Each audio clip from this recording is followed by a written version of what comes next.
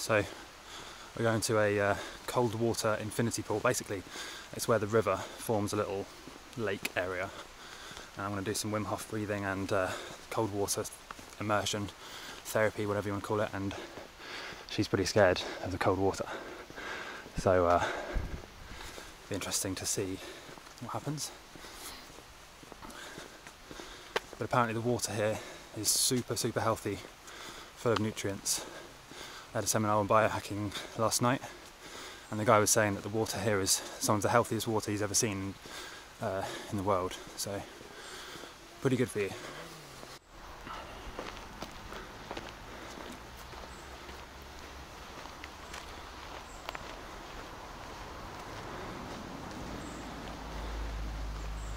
I need to get like to the other side.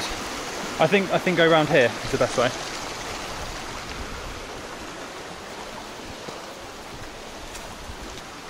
Yeah. This is why.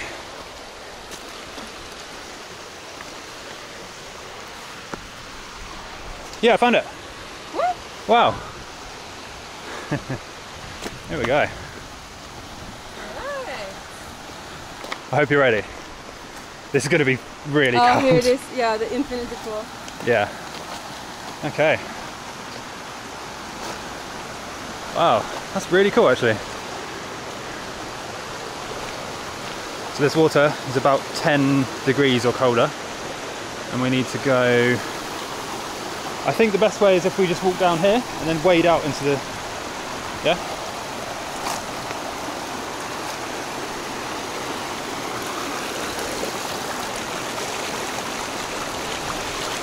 So we'll go over there. Yeah, I think let's put our um, bag here. Yeah. All right, we're gonna go and wade over to there. You go first. Really? You have to go first, come on.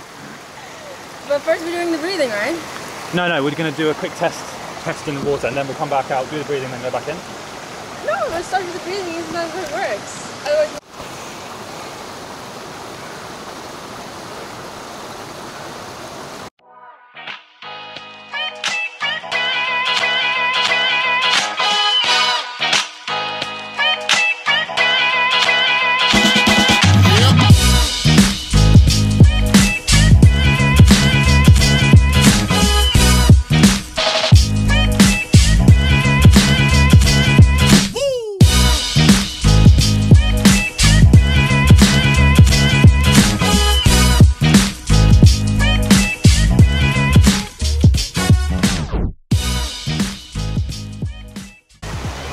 That's definitely the coldest water I've been in. So 10 degrees. It, yeah, 10 degrees. 10 degrees. I, it felt like about two degrees, but wait, we're still rolling. Yeah. But as soon as I went in the water, it felt like um, it was really hot. Like my body felt really warm. Strange things. Anyway, this is the place. Free place to come in Bansko.